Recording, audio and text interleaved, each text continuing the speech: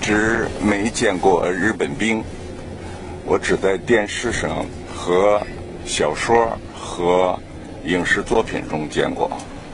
那些人都是大龅牙、罗圈腿，举着个三把子刀，到处找鸡吃，说花姑花姑娘的给，咪西咪西。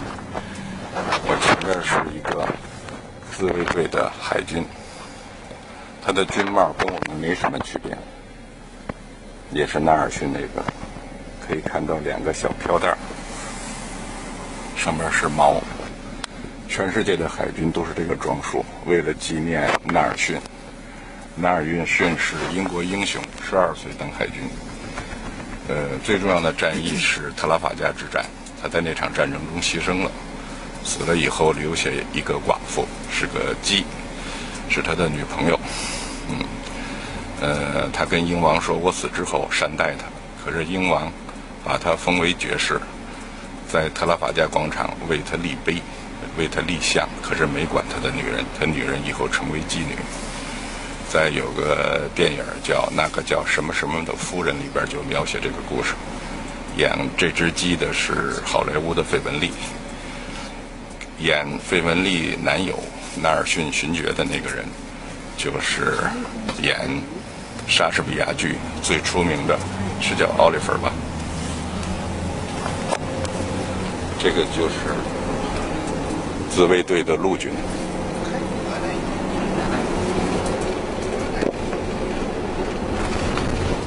我就坐在这个一个海军一个陆军的背后。我能来这儿是五十六岁，从来没见过日本兵，我就跟我的师弟说。带我来的是这两个师弟，啊，左面是石奇，是八零级的，嗯，右边是韩江，系的啊，物理系的，您哪级啊？我是八五年毕业。八五八五年毕业，那也呃八一级，啊，他们两个是八零级，八一级，我七九级，我最没有成就，但是我年级高，北大有个。有个传统，就是根据你上学的年级，啊，所以他们两个人能帮助我见日本兵的梦想。现在日本兵就在我的面前，大家也可以跟我一起看。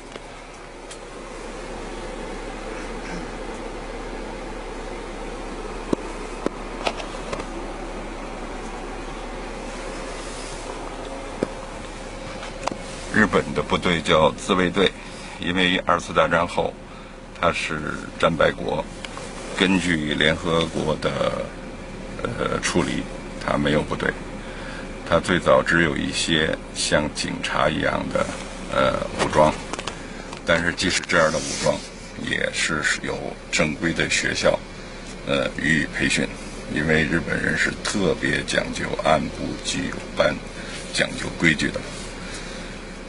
在亚洲最东边的日本和亚洲最西边的以色列，是亚洲脱亚入欧的榜样。这个两个国家的法律，呃，政体和世界上大多数先进国家，就是毛主席说的第一世界、第二世界，很接近。嗯，日本在学习西方的时候，连道路都是固执的。学的英国，所以你看，在这条道路上，车是走的左侧，而不像我们走的右侧。中国车走右侧，也是二次世界大战结束后被美国兵强迫这样，呃，才采用的。那是一九四五年的十二月三十号开始颁布这个条令的，是美军。给蒋介石，就中国呃的顾问叫魏德迈。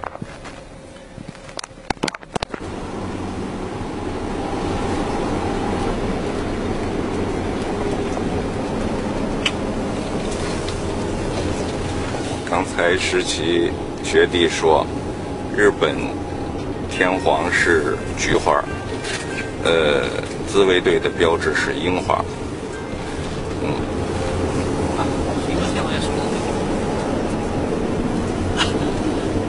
一般の換算と横須賀に一緒におります。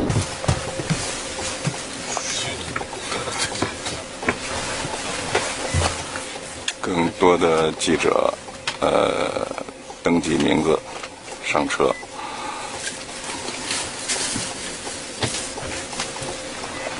他们的装备都很庞大、很专业，我这个小东西，我都不好意思拿出来。 但是，我要用我的新装备，拍出他们没有的东西。